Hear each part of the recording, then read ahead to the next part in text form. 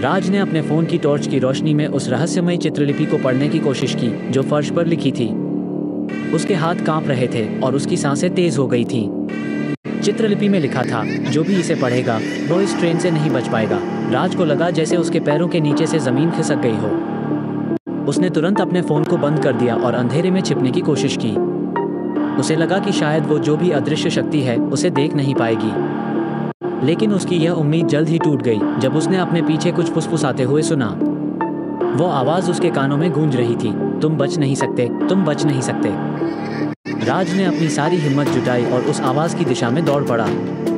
उसे पता था कि अगर वो इस डिब्बे से बाहर निकल जाए तो शायद उसकी जान बच सकती है। उसने दरवाजे की ओर दौड़ते हुए अपने फ़ोन की टॉर्च फिर से चालू की और देखा कि दरवाज़ा खुला हुआ था। वो बिना पलटे बाहर की ओर भागा। जैसे ही वह अगले डिब्बे में पहुँचा, उसने देखा कि वहाँ सब कुछ सामान्य था।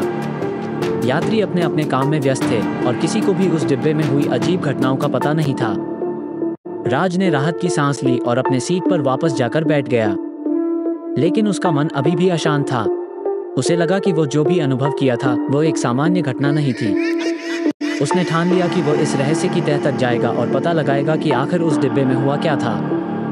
राज ने अपने दोस्तों से उस रात की घटनाओं के बारे में बात की और उन्होंने उसे एक पुरानी किवदंती के बारे में बताया। कहानी के अनुसार, एक यात्री जो उसी रूट पर यात्रा कर रहा था, उसकी अचानक मृत्यु हो गई थी और उसकी आत्मा उसी डिब्बे में भटक रही थी।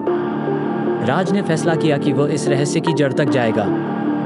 उसने अपने जापानी दोस्तों की मदद से उस यात्री के बारे में और जानकारी इकट्ठा की।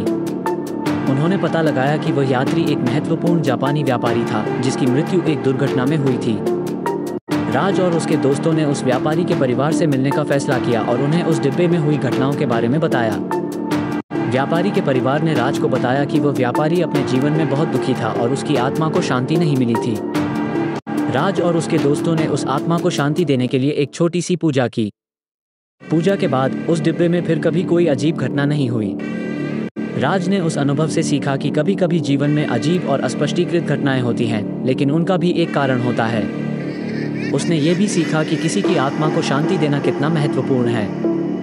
उसकी यह यात्रा उसके लिए एक अविस्मरणीय अनुभव बन गई और उसने जापानी संस्कृति और परंपराओं को और भी गहराई से समझा।